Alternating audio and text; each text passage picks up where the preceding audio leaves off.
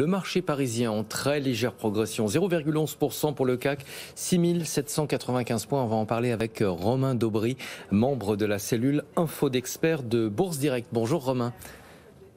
Ravi de vous retrouver. Un mot d'abord sur les, forces en présence et surtout le, niveau des indices. On, avait nettement rebondi à la Bourse de Paris, puis là on est repassé sous les 6800.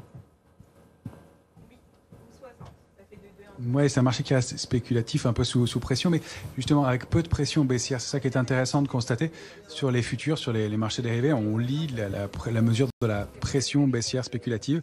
Or, au cours des deux séances de baisse de lundi et de mardi, qui étaient d'ailleurs, il faut le dire, très canalisées, eh bien, le nombre de contrats futurs n'a augmenté que de 3500 contrats sur une position de 260 000 contrats en tout.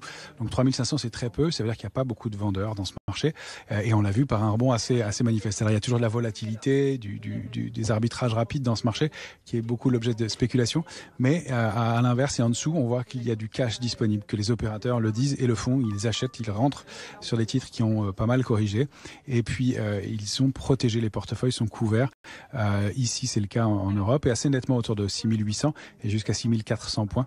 Et puis, aux États-Unis aussi. Donc, ça, ça fait un amortisseur important les niveaux techniques à, surveiller, eh bien, euh, qu'on doit préserver sur le S&P, c'est la zone 4170, 4232.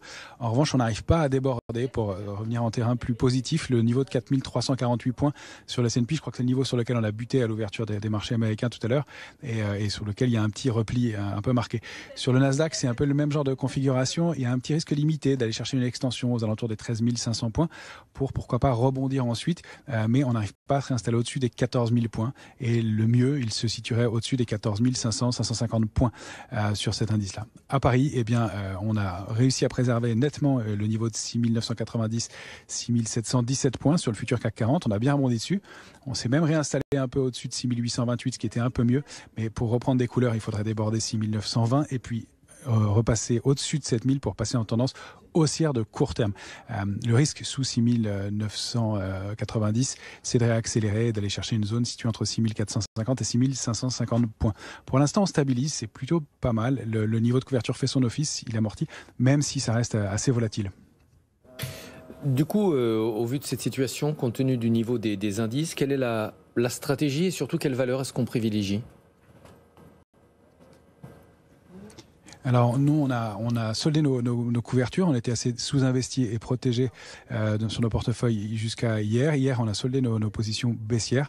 Euh, on commence à reprendre des positions depuis une dizaine de jours euh, à l'achat avec beaucoup de parcimonie. On est rentré sur Danone, on est rentré sur Virbac, sur euh, des plus petits titres comme Calray euh, qui, nous intéressent. on surveille beaucoup de valeurs et on voudrait que ça confirme. Et justement, les, arbitrages d'aujourd'hui et les, les allées et venues de l'indice nous prouvent qu'on fait bien d'être prudent et qu'on veut que les choses confirment. Mais on a dans nos scopes et dans nos screeners eh bien, des valeurs comme Rubis qui ont pas mal corrigé, Soitec aussi qui peut être intéressante, ou des valeurs comme Esker, mais qui n'ont pas encore donné des, structures de retournement haussière assez fortes pour qu'on on, on franchisse le pas. Et puis on est toujours positionné sur l'or et l'argent. Euh, l'or est, sous un niveau de, résistance important, 1910, au-delà duquel on pourrait aller chercher des extensions vers 1977 si on arrive à déborder. Et puis euh, l'argent est, bute sur 24,40 et ça c'est un niveau intéressant. Après il y a 25,32 et ensuite ça roule avant une accélération assez marquée en direction de 28,10, 28,80. Ça va doucement mais c'est plutôt dans le, dans le sens du marché pour l'instant. Merci beaucoup. Romain Daubry, membre de la cellule info d'experts de Bourse Direct. Un mot du marché parisien. Le CAC, donc, qui euh, progressivement s'est rapproché de l'équilibre après pourtant un très bon début de séance. On gagne 0,2%. 6801